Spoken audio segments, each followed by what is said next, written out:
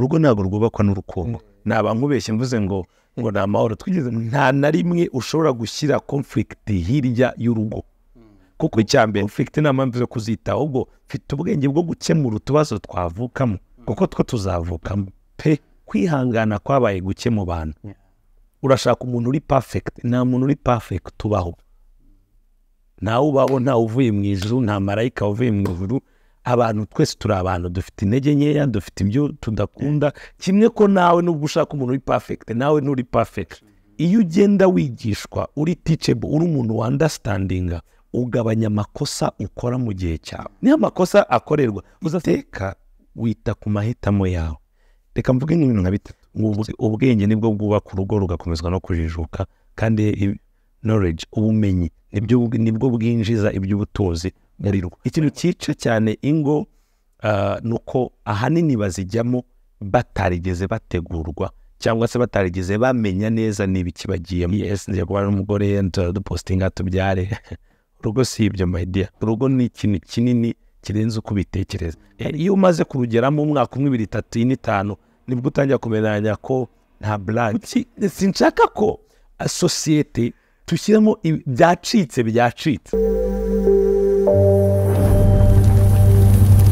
This is a, a Christian college. We train pastors and parachurch leaders uh, to be redemptive servant leaders. tugira rero ibihembwe bibiri mu mwaka igihembwe cya mbere gitangira mu kwezi kwa mbere icya kabiri kigatangira mu kwezi kwa munani kuri iyi nshuro turimo turakira abanyeshuri baziga muri iki gihembwe cy'ukwezi kwa munani kigiye gutangira mu kwezi gutaha tukaba dukorera hano ku kicukiro kagarama ku muhanda uva i kigali ugana i bugesera hafi ya sonatibe ya twongeye kubaha ikaze mwe mwese mukurikira nkunda gospel umunsi ku munsi eh, kuba tugize amahirwe yo kongera kubonana kongera guhura kongera kuba muri kutwumva imana ibishimirwe dushima imana ko namwe mumeze neza niba utameze neza kandi imana ikwiye kumera neza. Ah, ushobora kuba urwaye ushobora kuba uri guca mu bibazo bitakoroheye imana ikubera igisubizo. Ariko nawe umeze neza nawe wishimye wibuke nyine gusabira abababaye. Uyu munsi turi kumwe eh, ni pasita dore kuganira dore kuganira utaraba pasita eh, nibuka neza kuri nkunda gospel dore ukana batari babisa urumva wenda tubuze no kubiganiraho ko urwo rugendo rwa- rw'ayo mezi yose rushize hafi amezi umunani ndumva. Umwaka ugiye kuzura. Turi kumwe na pasita mugisha jackson. Ni umushumba mukuru. Ubwo ni nawe founder wa spirit revival temple. Eh, ni itorero rigiye kumara umwaka kandi rikora neza hano muri kigali ndetse n'abantu benshi nabonye. Nari ndimo ndamubwira mu gikari mubwira ngo amatora arimo arakora vuba muri iyi minsi. Eh, pastor turakwakira kuri munagozi murakoze cyane. Turanezerewe kuba hano ari umugisha. Mm. hari mumeze mute? Ni amahoro. Amahoro arahekeranye muri spirit revival temple imeze bite iya turi aho muri church tumeze neza umuriro waratse turashima imana ibana ibintu bimeze neza Mm. turi kubona ukuboko kw'imana nabonye muri no gutegura impact conversion 2023 yeah. kugira ngo wenda tu- tu- tu- tutaza kubigarukaho nyuma ni iki ni igiterane ni konseri ni amahugurwa? Ni konferanse ni urumva ijambo ryayo? Nuza izina rye ntabwo ari specific. Yeah. buri muntu ahita amenya icyo ari cyo. Ariko harimo abatumirwa beza nabonyemo ba pastor julien tracy eh, nabonyemo serukiza nshuti bosco. Yeah, Bosco. yeah, nawe na madamu ni igiterane kanyita igiterane ndaza kudusa. Ni igiterane kimeze gute cyangwa se bipanze bite? Yeah, um, turashima imana kubw'iki giterane ni igiterane ntabwo ari konseri ni igiterane um, cyo kugira ngo tujye hamwe nk'abakristo turebe ni gute twaba bimaro ni gute twagira impact ni gute twagira influence nk'abakristo muri kino gihe cya none. Sirito ko muri bino bihe abantu baba bahuye n'amacalenges agiye atandukanye ni igiterane cyo kongera kudusubiza ah, ku rufatiro rwacu nk'abakristo ko tugomba guhaguruka tukagira impact ku itorero mu gihugu mu miryango n'ahandi hagiye hatandukanye. So nk'uko wari wimbaje ni igiterane kizaba ah, muri iyi minsi ni icyumweru gitaza ari kuwa gatanu ku itariki makumyabiri n'eshanu makumyabiri n'esheshatu na makumyabiri na zirindwi z'ukwezi kwa munani. So rero tuzabanana nk'uko babivuze nka pasita Julienne kabanda apotre sositene serukiza ah, bosco nshuti ni umuramyi mwiza tracy ni umuramyi mwiza.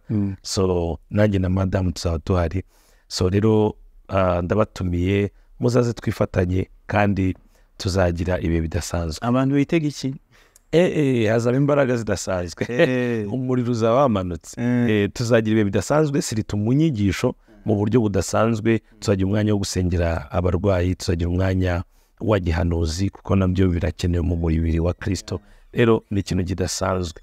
Bizabera kuri caci dusanzwe dukoreraho kuba dezami ni kicukiro haruguru y'akarere ka kicukiro cyangwa se munsi ya sipoti viyu iburyo bwawe ni aho kuba dezami bakunda kwita egirize dezami tuzajya dutangira kuva saa kumi z'umugoroba kugeza saa mbiri z'umugoroba. So ni, ni, karibu vurama abantu badukurikiye muri kino kiganiro bose turabatumiye ubwo abari hanze bose bazabikurikirana abari hanze bazakurikirana kuri social media zacu platform zacu ah, ni pastor jackson mugisha kuri youtube bizaba biri live. Ah, ndibaza rero aho ngaho bizaba biri guca for now madamu aza- azabwiriza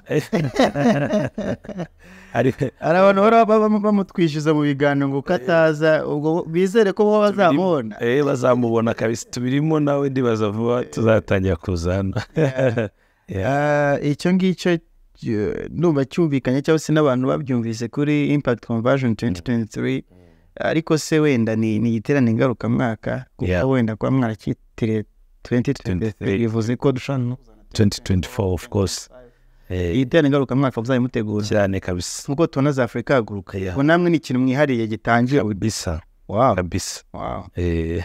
Ah, ndumva muri Christ Kingdom bafite fresh fire. Eh, fresh fire conference.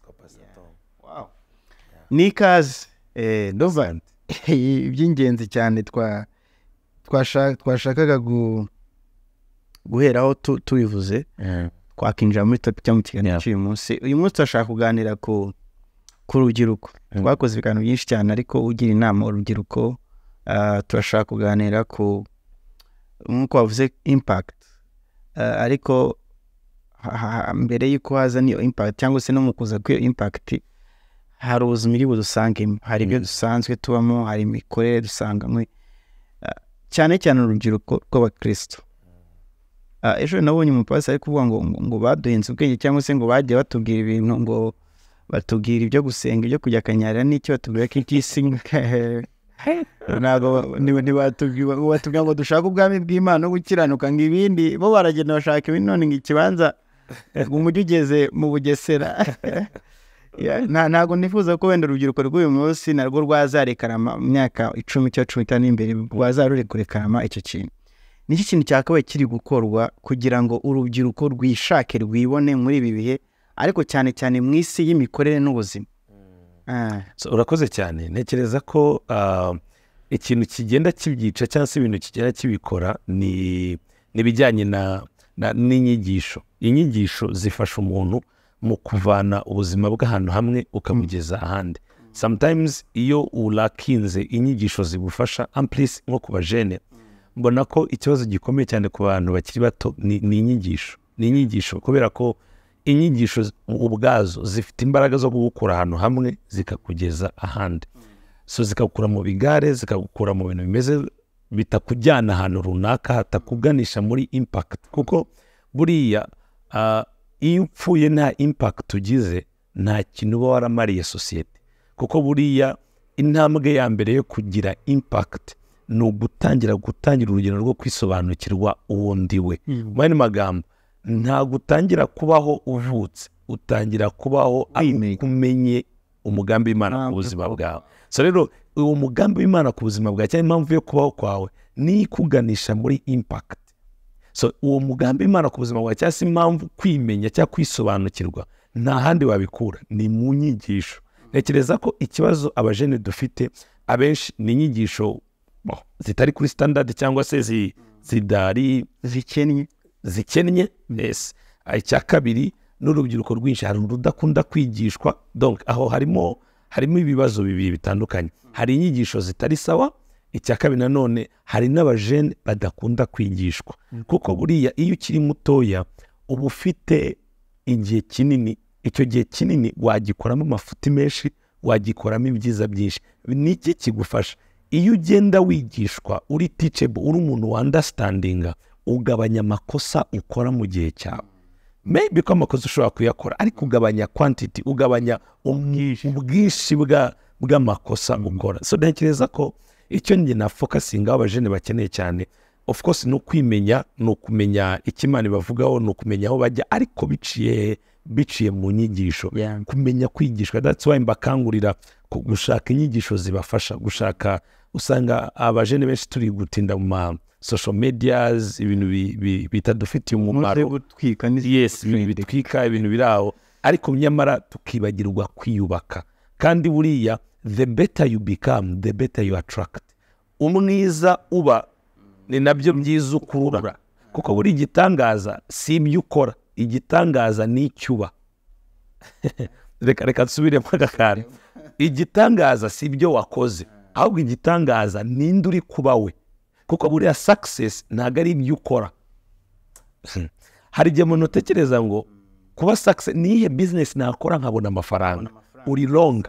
Uri gukora ibintu bitari byo. Ahubwo ninde waba we ukaba Nose ntuzabona ntuzabona abantu babiri bakoze business zisa. Umwe araferinze undi arasakisidinze mu by'ukuri si uri kubikora. Ahubwo ninde uri kubikora? Kuko nubona ukora business with the same uh, uh, uh, mentality na version yawe n'ubundi uzaferinga so daniel ni we wabivuze mu bice bibiri i think. Aravuga ngo ngo abazi imana yabo bazakomera. Nibamara gukomera bakore. Mu yandi magambo abazi bitangirana n'ubwenge n'ubumenyi. Bikarangira abazi imana ya bazakomera gukomera ni becoming kuba and then doing. So twebwe twihutira gukora gukora kuruta kuba. So this is the secret actually. Yeah. so before you do something become something. Nutaba ikintu runaka bizakugora. Mu yandi magambo bitangirana na wisdom knowledge hakaza becoming hakaza doing. So iyo wirukanye mu gukora ni hahandi uzaferinga amakosa menshi cyane. Niyo amakosa akorerwa. Uzasanga umukire uyu munsi arahomba miliyoni magana angahe mu gitondo akongera akajya kugerageza mu by'ukuri yahombye. Ariko kandi ejo akongera agatera imbere. So mu ntafite ubwoba bwo gutangira. Kuko ibyo yahombye nibyo yari ari. Ntabyo so rero urubyiruko inama narugira mureke dukunde kwigishwa shaka ahantu ha- hava matiriyozi zigufasha zigucarenjinga nawe bino byo kumva noneho ikintu gikomeye no mu itorero ry'uyu munsi turi kurakenga inyigisho zifite ireme. Teachings kubwira abantu eh, turi mu buhanuzi turi muri ibi turi ariko ubuhanuzi- kwiga. Buriya ubuhanuzi ni bwiza ariko ntabwo bwubaka umuntu. Inyigisho nizo zikubuilding ubuhanuzi butanga direction butanga icyerekezo ubuhanuzi bugukura muri confusion ubuhanuzi bukubwira umugambi w'imana ku buzima bwawe. That's it. Ariko teachings zirakubaka ugahinduka ikindi kintu. So i think tugomba kugaruka ku rufatiro rw'inyigisho. Ah, jackson reka turifurekitinge ku buzima bwawe. Noneho tugaruke kuri wowe. Wenda dushobora kuvuga ibintu abantu bakabona ari ibintu biri teorike ari ibintu nyine biri aho nyine byo kwivugira cyangwa se no gutanga no, no, kwigisha. Ariko tuvuge ku buzima bwawe ni ryari ibi bintu uri kuvuga byabayeho mu buzima bwawe ukavuga ati noneho ntangira urugendo rwo kwimenya noneho byagezeho umusaruro. Ko ari birebire. Dusangize dusangizeho ni- birebire. Um, ah, ndahera he, ko ari kera. Haciye imyaka um, haciye imyaka ikabaka nko muri cumi n'itanu cyangwa se irengaho gatoya ntangiye um, uru rugendo rwo kwisobanukirwa. Mhm. nabitewe nabitewe n'abagabo ba- ba- ndabivuga gute? Mhm. byatewe n'ubuzima nakuriyemo butari bwiza. Mm. Ah, kwa kuntu ugenda ushakisha ushakisha ariko nkura nkunda ikintu cya bizinesi cyane. Cyane numva ibintu byanjye n'iby'ubupasiteri sinzi uko naje kubijyamo. Ariko ibyanjye numvaga ari bizinesi nza gusoma igitabo cy'umugabo witwa robert kiyosaki. Robert kiyosaki ni umunyamerika ariko w'umuyapani. Mm. Um, ni umugabo w'umukire cyane. Yanditse igitabo cyitwa rich dad poor dad. Icyo gitabo nagisomye nko muri demire disi aho ngaho. So ni ho cyacarenjiza ubuzima bwanjye. Cyahinduye ubuzima bwanjye. No nakurikirana n'undi mugabo witwaga dr. Myris monro hari igitabo cye nasomye cyitwa in charge. Nacyo cyahinduye complete ubuzima bwanjye. Ah, bikubita naho n'abandi bagabo bagiye batandukanye nagiye nkurikira aposo paul gitwaza n'umuntu nawe wamfunguye cyane kuri icyo kintu. Siritu muri afurika haguruka ya bibiri na cumi na rimwe. Yavuze ibintu bikomeye byahinduye ubuzima donc byatangiriye mu kwandastandinga mu gusoma mu kwigishwa. Iyo nyota iyo nyota. so ntagira kubona kumbe sindakisida ku isi. Ubuzima naciyemo butangira kunyereka ko koko hari umuhamagaro ku buzima bwanjye hari ikintu kiri ku buzima bwanjye. So nkimara kugenda menya ibyo bintu natangiye kwiyinvesitisa cyangwa kwinvesitisa ubuzima bwanjye mu gusoma mu kwiga mu gusacinga ibitabo bigiye bitandukanye mu gukurikirana abakozi b'imana bagiye batandukanye. So aho ngaho ngira gukurikirana abakozi b'imana bagiye batandukanye ah, ah, bi- bimfasha rero kugenda nis- ni ni disikavaringa nimenya kuko buriya self discovery it's a process. Ntabwo ari ikintu cya mu gitondo kimwe no ni nk'umwana mutoya. Iyo ubyaye umwana ubona amatwi ari aya se ukabona amaso ni aya nyina ibiganza ni ibya nyirakuru. Ariko iyo ageze mu myaka mikuru itanu irindwi ugenda bahita po wa mwana ni uwa se ni uwa nyina donc icyo habaho ni iki? It takes time. So rero u- natangira urwo rugendo rwo gusoma ibitabo cyane gukurikirana abakozi b'imana kwiga cyane.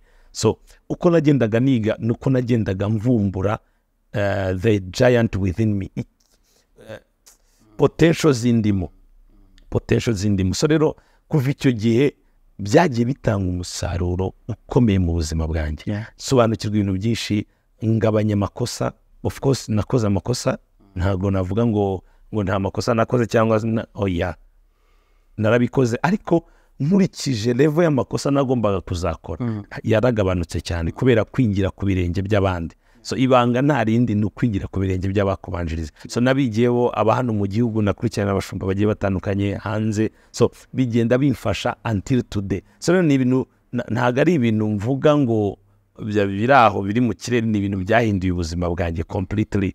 Ah, aho ngeze uyu munsi ibyo nkora ibyo mbamo it's like mbona results mbona results kandi ntabwo ari rezilita mfite ubwoba ngo ejo zagenda. No n'uwo ndiwe.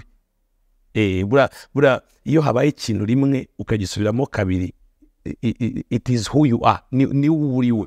Ariko iyo bibaye rimwe ukumva nta insekirite mfite uwo ndiwe ni- ni- ni byo nagizwe byo bitewe n'inyigisho. Bishatse kuvuga iki? Ndi rezilita y'inyigisho z'abantu ndi rezilita yo kwigira ku birenge by'abantu ni byo nta bindi nta bindi birenze. Eh, hari aho ugerageza ukavuga uti now I'm successful? Not yet. Ndacyari mu rugendo.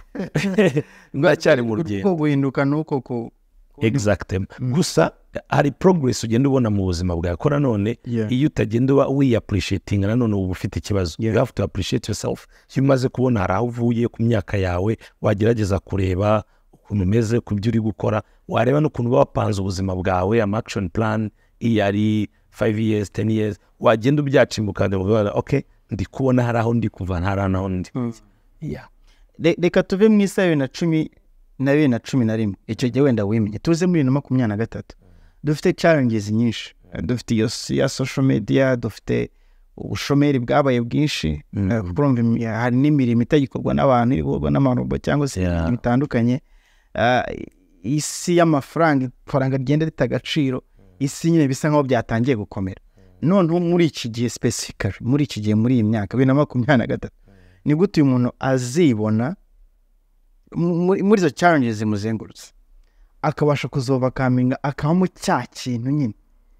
Na za nyigisho uri kuvuga hari atari buzika najya muri church ntabwo ashobora kutazibona. Aho ari muri church turi kuvugana kwa kirisito aho ari muri church ntari kuzibona.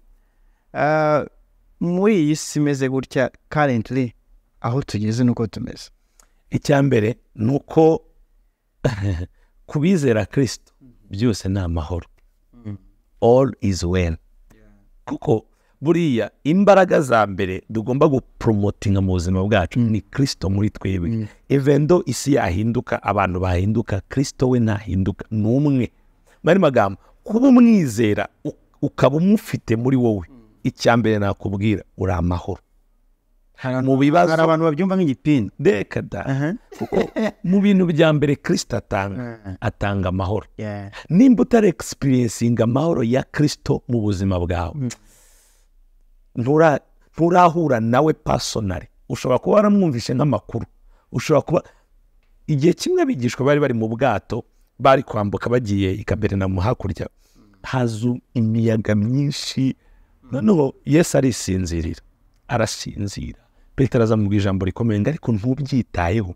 Ntubona ko tugiye iyo ni atitude y'umuntu ufite kirisito mu bibazo mu ntambara wowe uraryama ugasinzira n'ikimenyimenyi izo yagukijije ntabwo wari uzishoboye. N'izi ngizi uri guhura na zo ibibazo uri gucamo sakamusitese zigiye zitandukanye he is there ari aho ntazagusiga ntazaguhana amahoro ya mbere tuyakura muri kirisito ntabwo tuyakura ku ifaranga ryazamutse ntabwo tuyakura mu kazi ntabwo tuyakura yigeze gusanga abigishwa ah, bari mu nzu zifunze biravuga ngo inzu zikinze ngo kirisito arapiyarenga aravuga ngo amahoro abe muri mwebwe muri magambo Ijambo yavuze. yes.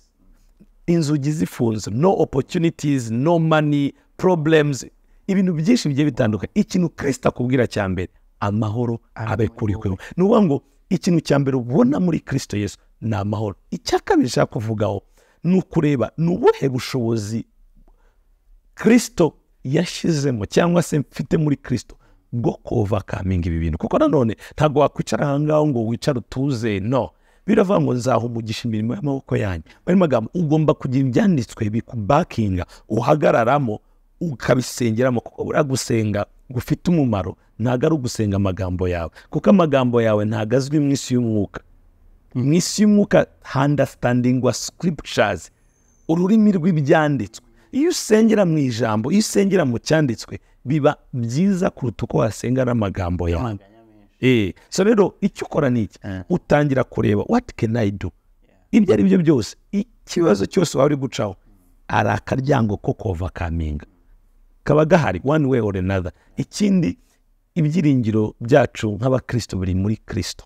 Paul ni we wabivuze mu baroma ngo ni we byiringiro bidakoza isoni. So kuba umu- umufite kuba ari kumwe nawe ni we byiringiro bidakoza isoni. Icyo nshaka kuvuga ahubwo ni ukureba pati yiwe irahari pati yanjye ni iyihe So, hari ibibazo ukurwamo no kumenya hari ibibazo ukurwamo no gusenga hari ibibazo ukurwamo na connections. Ibyo ni ibintu byose wicara ukadisikavaringa ku buzima bwawe ukareba what can I ahubwo ikibazo ni uko abenshi tuba dutwawe n'amaganya y'ubuzima ikindi uh, tuba twiringiye abantu cyane ukumva washyize ibitekerezo byawe ku muntu byose ni ku muntu. Ejo yakudisivinga ukumva ibibazo byabaye ibibazo byinshi. Ariko ntekereza ko uko byamera kose uko isi yakwicurika yakwicurukura ahora ari umwe. Niwe byiringiro bidakoze isoni. Mm.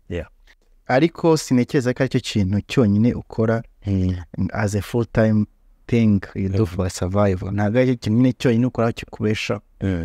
Ah, ariko twabayeho mu bihe usanga abashumba abapasiteri abaevangelisite ari cyo kintu cyonyine bakora. Nta kindi kintu ba- ba- bavangamo. Ubihuza ute Ah, n'umusaruro uvamo u- u- ubihuza ute kugira ngo hatagira kimwe kiza kubangamira ikindi. Icya mbere ni no ni schedule no, ni, ni, ni, ni, ni power of planning. You have to plan.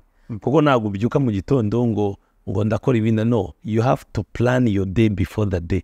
Donc ugomba gutekereza undi munsi mbere yuko uwo munsi uwugiramo ntekereza ko na- nta bikomeye cyane. Ah, gusa nanone percentage nyinshi biri muri eglise of course. Ariko you have to do something ku buryo ejo utazasaba ejo utaza yeah you have to do something. So ntekereza ko gukorera imana bitagukura mu kazi.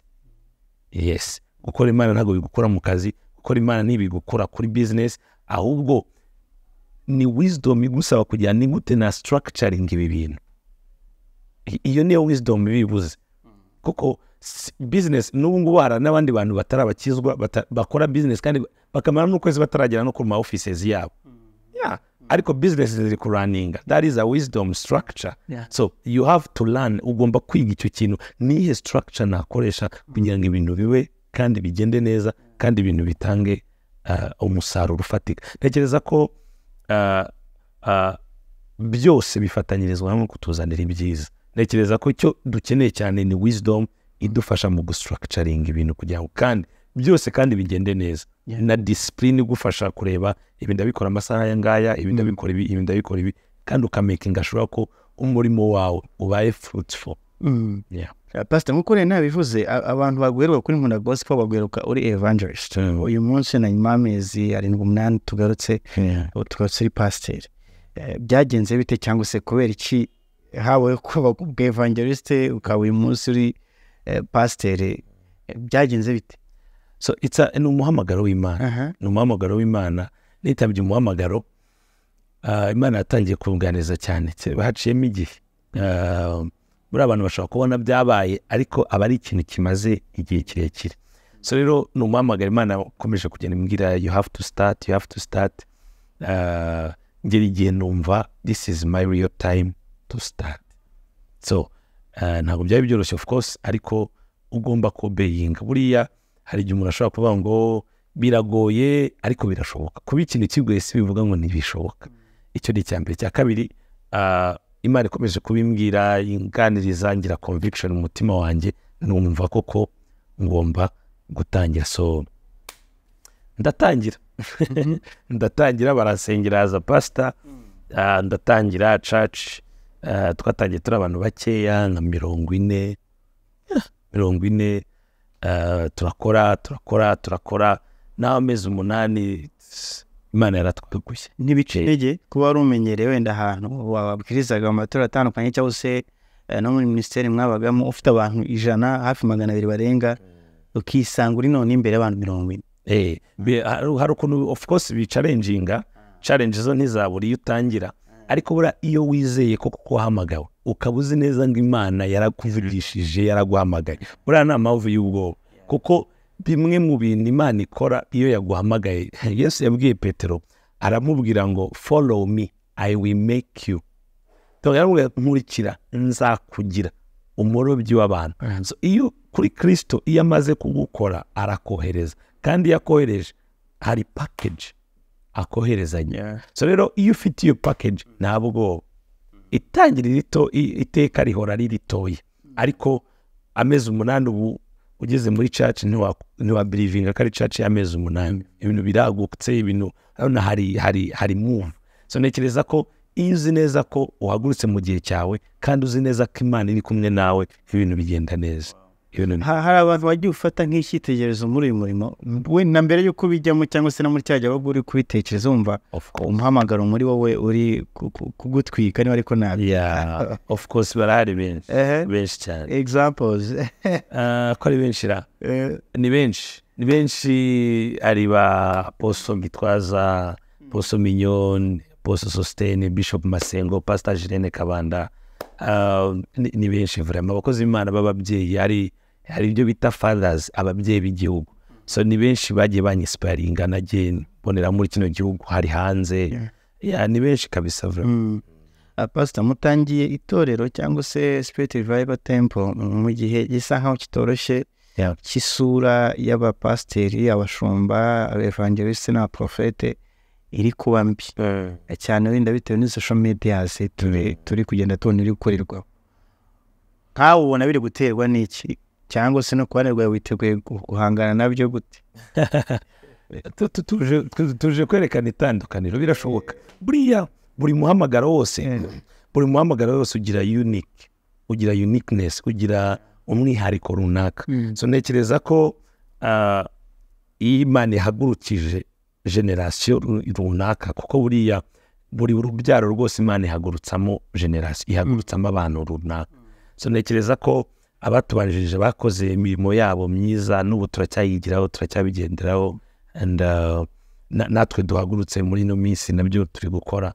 So even though habaho habaho aba messing up cyangwa se abitwara nabi abagize gute ntekereza ko ikibitera ni uburere. Eh, hari igihe umuntu akora ibintu ukareba ikibazo si we ikibazo ni foundation yarezwe ate? Rero bibaho bibaho. Iyo utararezwe cyangwa se udaf- udafite maturite spirituelle cyangwa se ubukure mu buryo bw'umwuka hapfa ibintu byinshi. Sirita uko muri kano karere kacu abantu bagiye bahaguruka ugasanga bahagurukijwe n'ishyaka ariko matirite ugasanga ni ntayo.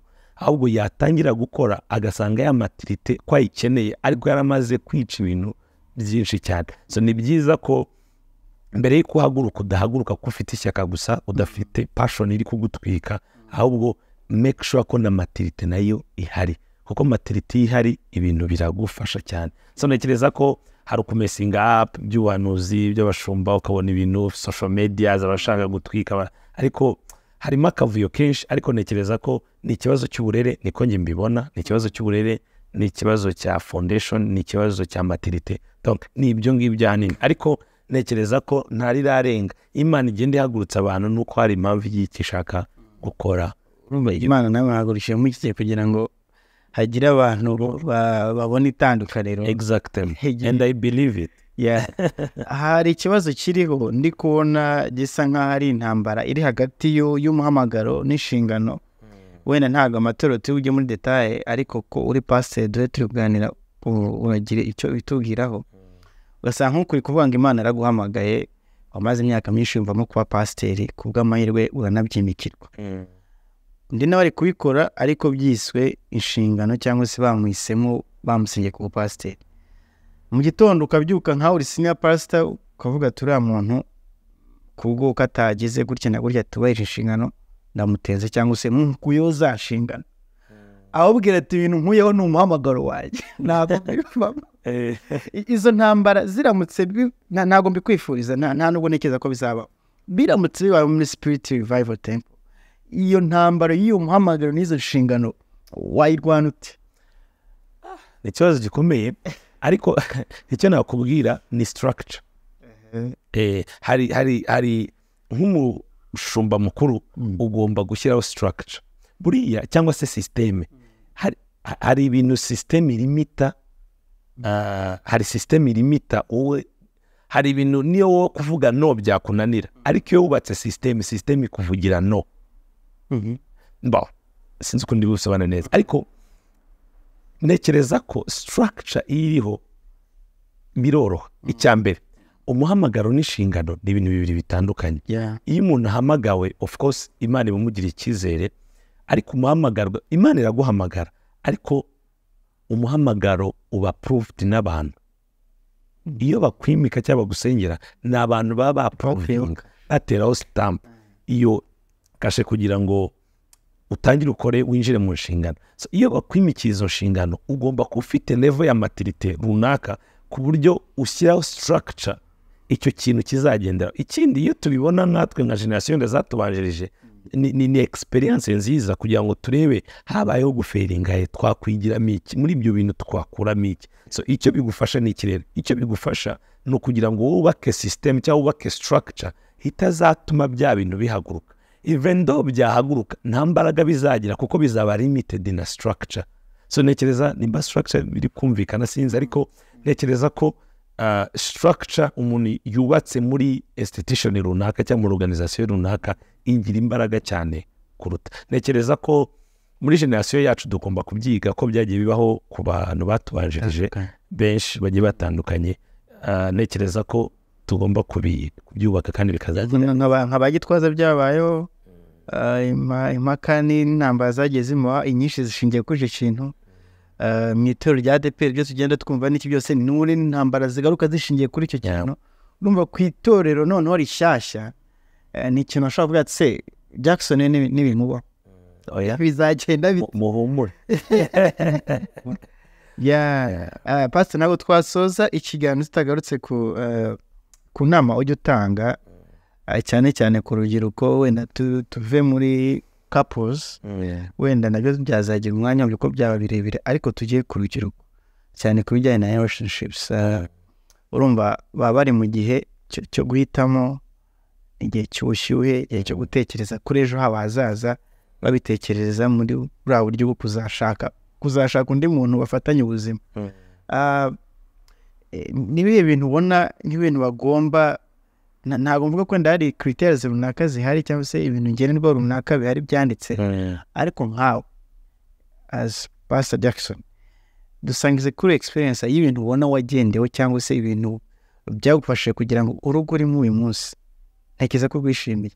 Cyane. Niba urwishimiye kugira ngo ubone urugo rw'inzozi zawe cyangwa se urugo wishimiye eh, wagendeye ku ki? Kugira ngo uhitemo uriya mu- mubyeyi mu bantu. Eh, kujya mite muri mukobwa duturanye hariya tubana. By the way nda- ndamukunda cyane. Ah, nabonye ejo namuvugaho n'amagambo akomeye. Cyane niba kubuza n'amagambo akomeye. Kuri bate anyway ariko nanjye of course buriya aba ari umugisha iyo wubatse urugo ukabona umwaka umwe ibiri itatu ine itanu ira- ira- ikabakaba ukabona bimeze neza ntarasubira iwabo nta nduru aba ari umugisha. So rero uh, iteka wita ku mahitamo yawe. Reka mvuge nk'ibintu nka bitatu. Icya mbere urugo nabonye ni ukubisengera mbere yo kubyinjiramo. Ni ukubisengera. Iyo ubisengeye imana igufasha muri ya mahitamo. Kubisengera guhitamo neza icya gatatu matirite y'ibyo ugiyemo. Ndasubiramo. Icya mbere ni ukubisengera. Mbere yo kubyinjiramo icya kabiri ni amahitamo mazima. Icya gatatu ni matirite cyangwa se wisdom cyangwa se ubwenge bw'ibyo ugiye kujyamo. Kuko iyo utateguwe iyo utigishijwe kuko urugo urugo ntabwo rwubakwa n'urukundo. Nkunda kubivuga urugo rwubakwa na wisdom understanding and knowledge. Muri proverbe mu, migani makumyabiri na kane umurongo wa gatatu biriya ni bwo bigaragaza ubwenge ni bwo bwubaka urugo rugakomezwa no kujijuka kandi knowledge ubumenyi ni bwo bwinjiza iby'ubutunzi muri rwo mu yandi magambo. So gusenga biragufasha amahitamo meza ndetse na na na, na matirite y'ibyo ugiye kujyamo. Njye rero ibi byamfashije narabisengeye cyane. Mbere ko ninjira mu rugo nafashe igihe numva ntangiye kugira igihe cyo kuba nakubaka numva bindimo. So nafashe umwanya munini wo kubisengera ndabisengera kabisa biri biri serious. Icya kabiri nitondera amahitamo yanjye. Yes. Ndareba mu mahitamo haba harimo ibintu bigiye bitandukanye. Ah, harimo uwo muntu uri gushaka guhitamo ameza ati yizera ibiki? Yitwara ate? Karagita ze ni izihe? Ese hari ibyo hari ibyo nakwihanganira byiwe ese hari donc mu- urareba nk'umuntu ugakoresha wisdom ntabwo ukoresha amarangamutima. Ikindi ugomba kuba uzi neza mfite matirite ihagije yo kubaka urugo. Eh, ubwe ubwenge ko ari bwo bwubaka urugo ubwo bwenge ndabufite narateguwe bihagije. Wasomye ibitabo waganiriye n'abantu bubatse wa ya ikintu cyica cyane ingo ah, ni uko ahanini bazijyamo batarigeze bategurwa. Cyangwa se batarigeze bamenya neza niba ikibagiyemo hari igihe umuntu biva ku bana yes ngiye kubana n'umugore dupositinga tubyare urugo si ibyo dear. Urugo ni ikintu kinini kirenze uko ubitekereza. Kandi igitangaje buriya umuntu utarajya mu rugo ntamenya agaciro k'urugo ntamenya urugo ni iki. E, iyo umaze kurugeramo umwaka umwe ibiri itatu ine itanu ni bwo utangira kumeranya ko nta burage gusa icyo navuga hari ino muvu uvuga ngo ah, ngo urugo wapi na nzibyarira nzagira gute? Guys urugo rwiza rurashoboka kandi rubaho. Satani hari ukuntu yampurifiye abantu babiri batatu batandukanye uzi agahita kwibagiza icumi bakibanye. Hari amakapozi bubatse imyaka mirongo ine imyaka mirongo itanu imyaka icumi. Mana urugo rwiza rubaho rurashoboka. Wigira ubwoba bwo ngo nanjye nzasenya nka runaka kandi nta rugo rwubakwa nk'urundi. Buri rugo rwugira fomira yabyo. So rero ntekereza ko nta mpamvu y'ubwoba urugo rwiza rurashoboka kandi n'urugo rubi rurashoboka. Ahubwo amahitamo yawe n'uburyo witeguye ni byo bideterimena uzubaka urugo rumeze gute. Byigeze kuba ko ugezemo ubona nk'ubusharire butoya wenda cyangwa se ubona ahantu eh, byaba bisa nk'aho byiporose No- no- not really. Ariko of course challenge ntizabura mu rugo. Naba nkubeshye mvuze ngo ngo ni amahoro twigeze kujya tugirana utubazo. Hari urumva iyo se tuyo mu kibana nawe ndibaza bishobora kongera yeah. iyo mu kibana urumva background yanjye itandukanye n'iye completely completely. Icya kabiri ndi umuntu wabaye aho njya muri geto mbaho ubuzima bwanjye bwa gisiribateri oh, mba nzi wenda urukweto ruba hariya ipantaro iba hariya wakaza ati no bijya aha ngaha. Bi-" so utuntu nk'utwo ntabwo tubura. Siriti yo mu kibana umwaka wa mbere aba arimo challenge kumenyana akunda ibi yanga ibi ah, eh, of course ibyo nta- ntabwo byabura. Ariko conflict reka mpite nanabivuga. Conflict it's a part of marriage. Nta na rimwe ushobora gushyira conflict hirya y'urugo. Kuko icya mbere umuntu nimwarerwanye hamwe. Imico iratandukanye muhuye mukuze. Muhuye buri wese afite imitekerereze y'amakode yiwe ko yumva ibintu. Abo bantu kubafata ngo bahuze ibintu ntabwo ari byo. Ariko uko bagenda batindana uko bagenda baganira uko bagenda bi- bigana uko bagenda babana imitekerereze igenda iba imwe imwe imwe. So icyo navuga ni uko conflict it's a part of marriage. Ahubwo conflict management ni gute du? Niba habaye akabazo wisdom dufite ishobora kudukemura icyo kibazo imeze ite? So ntekereza ko conflict nta mpamvu yo kuzitaho ahubwo mfite ubwenge bwo gukemura utubazo twavukamo. Kuko two tuzavukamo. Pe! Wowe se ubona ari iki gituma wenda na porosantaje ziri kwiyongera cyane cyane z'amadivorce kuko birakabije kabisa biri burya no mu masitasitike umwaka umwe usanga eh, byiyongereho ngo magana atanu ejo ugasanga zikubye kabiri zikubye gatatu. Ubona ari iki kiri kubitera biri kwiyongera reka mvuge iki kintu biri kwiyongera. Ariko hari no kwiyongera ingo zubatse neza. Yes. Ntizitangaje. Sha- oh, sinshaka ko sosiyete tushyiramo ibi- byacitse byacitse. Turebe ibi n'ibimeze neza. Kuko reka mbwize ukuri. Ushobora kureba nko mu mwaka sibyo? Nka kupuruzi. Hashobora gutandukana wenda nk'ebyiri eshatu. Sibyo? Ariko ntiyabuze icumu zizi cyubatse neza. So biri kwiyongera yego ariko n'izubatse neza. Nazo ziri kwiyongera. So bishatse kuvuga iki? Of course izo challenges ntizabura kuko hari igihe bizamo ama expectations y'abantu agiye atandukanye eh, ugasanga umukobwa avuye iwabo ati eh ne expectinze ibi umukobwa avuye iwabo iwabo cyangwa muri ghetto avuga ati ne expectinze ibi Yeah. ugasanga yagera mu rugo expectation akagira gute? Akazibura. Yazibura rero. Intambara zigatangira. Icya kabiri mbona kwihangana kwabaye guke mu bantu. Urashaka umuntu uri perfect? Nta muntu uri perfect ubaho. Ntawe ubaho ntawe uvuye mu ijuru nta marayika uvuye mu ijuru abantu twese turi abantu dufite intege nkeya dufite ibyo tudakunda kimwe ko nawe nubwo ushaka umuntu uri perfect nawe nturi perfect. Kuzana umuntu umeze nkawe ngo. Eh njya mbibwira urubyiruko rw'iwanjye kiruka by the way n'uyu munsi dufite special service y'urubyiruko njya nkunda kubibabwira iwacu kuri church. Umukobwa ugasanga ndashaka umuhungu umeze gutya ndashaka ukareba umuhungu ashaka wowe urinde ushaka uwo muhungu?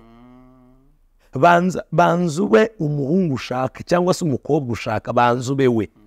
Kuko imana ntishobora kuguhereza umwana mwiza wowe uri ikibande kuko imana ntabwo urizwi urebye nabi. Yabihembye nabi. So rero icyo ukwiriye n'ikimanigo ntekereza ko mbere yuko ushaka umuntu uri perfect banza wibaze ngewe meze nde? Kandi ikindi umenye umuntu ubwo mugiye kubana ntabwo ari imana mugiye kubana ntabwo ari marayika ni umuntu nawe uri umuntu. Tugire iki kintu cyo kwihangana. Iyo ugize kwihangana biroroha. Uwihangana aranesha. Of course hari aho bigera ko bati uyu mugabo sinyimwihanganiye umugore sinyimwihanganiye bitewe n'ibibazo bihari. Ariko ndabwira nk'abajene muba mugiye gushaka aba david abangaba so icyo navuga ni iki? Mwirememo icyo kintu cyo kwihanganirana. Wowe kuki kuki wumva ko abandi bakwihanganira? Wowe utakwihanganira abandi. So urukundo rurihangana. Actually ruriya rukundo biri uvuga mu bakorino. Ni rwo rwubaka urugo urukundo rurihangana. Urukundo rugira neza. Ruborera byose. Urwo ni rukundo. Byose. Eh, ririya jambo ryarantangaje ngo ry'ukuntu umuntu ngo ashobora gutanga ibye byose ngo agaburire abakene ngo ariko adafite urukundo. Adafite urukundo. Mpita mbiguza n'ibintu by'iki gihe hari igihe umuntu akora ibintu akabikora as showing up kwigaragaza mbere najya kumva bidashoboka ariko nabitekereje nyuma mbona cyane ni ikintu gishoboka Eh, ni byo kabisa urukundo rurakwiye kandi rukuri imana irutanga pasita reka tugushimire cyane ku kiganiro cyiza tugiranye cyagarutse ku bintu bitandukanye ku nama ku rubyiruko ah, ku murimo wawe na background ntoya ntabwo twari kubideta ariko bura butawenda tusa tuzagenda tujya muri details Ah, twibutsa abantu impact conversion 2023 Ya. ni igiterane giteguye kugira ngo ki- ki- ki- kizane impinduka mu bazacyitabira Ya. mu buryo bwose yaba mu buryo bw'inyigisho mu buryo bw'inama mu ijambo ubuhanuzi byose numva bizaba bihari kandi hari n'abaririmbyi beza Tracy Bosco Nshuti ndetse na na na worship team yo muri Yeah. Spirit Revival Temple ntabwo twayibagirwa. Turarikira abantu kuzaba bahari. Pasita ndumva twakwakira n'ubutumwa busoza muri rusange tuga- tugasoreza hano. Ya nta kindi nababwira nk'uko wari ubivuze ni karibu muri konferanse turatangira kuri uyu wa gatanu utaha ku itariki makumyabiri n'eshanu makumyabiri n'eshatu makumyabiri na zirindwi tuba dutangira saa kumi z'umugoroba. Hano kicukiro ku badezami ah, munsi ya sipoti viyu cyangwa se haruguru y'akarere ndaho. Ndagusabye uzaze uri muri kigali purize uzaze uri hanze y'igihugu udukurikire kuri cano yacu ya pasita mugisha jackson purize ngwino tuganire. Ikindi yesu aragukunda ibyo waba unyuramo byose yesu aragukunda kandi iyo akurinze cya gihe n'iri kumwe nawe. Amahoro y'imana abane namwe. Murakoze cyane.